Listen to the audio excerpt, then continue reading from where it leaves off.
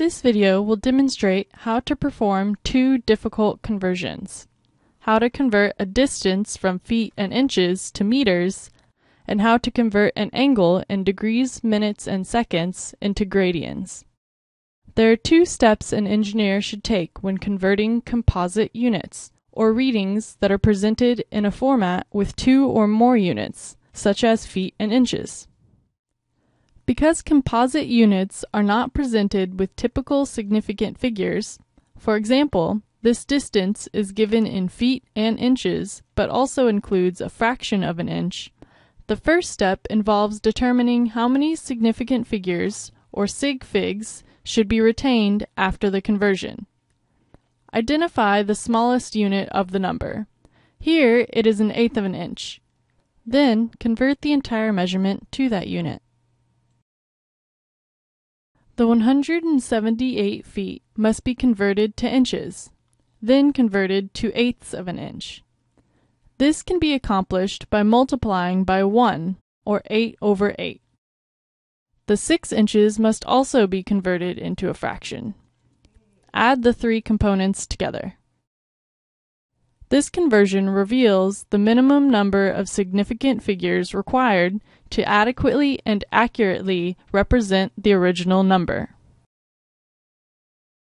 The second step in this process is to convert the measurement into the unit of interest. For this example, meters. Recall the fraction representation of this number. The exact conversion from English units to SI units is defined as 1 inch being equivalent to 25.4 millimeters. This fraction is already in inches. Multiply by this conversion factor, then also multiply by the conversion factor from millimeters to meters.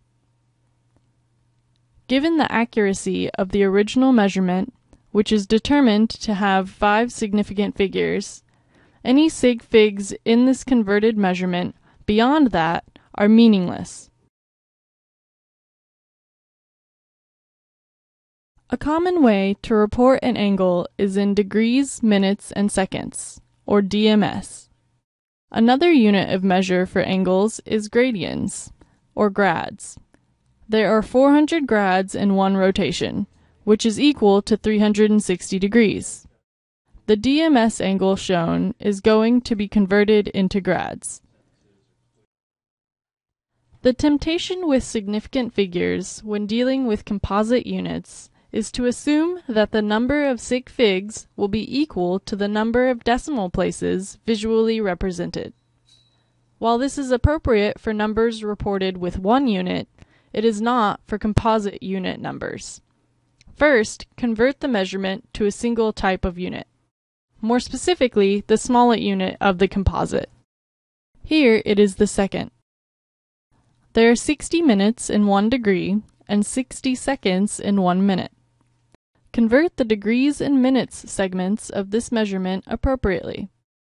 This number can be adequately represented with seven significant figures. If this number, or its converted equivalent, were represented with 8 sig figs, the final decimal place would be a guess and falsely imply that the measurement is more accurate than it actually was when recorded. Alternatively, if it were represented with 6 sig figs, accuracy would be lost. Continue with part 2 of this conversion. If 1 degree is equal to 60 minutes and 1 minute equal to 60 seconds, 1 degree is equal to 3,600 seconds. Recall that 400 gradians is equivalent to one full rotation, which is also equal to 360 degrees. Truncate the solution to the appropriate number of significant figures. Subdivisions of gradians are C's, which are equal to 1 100th of a gradian, and CC's, which are equal to 1 10,000th of a gradian. As shown here, separating a decimal gradian into these subdivisions requires no actual math or conversions.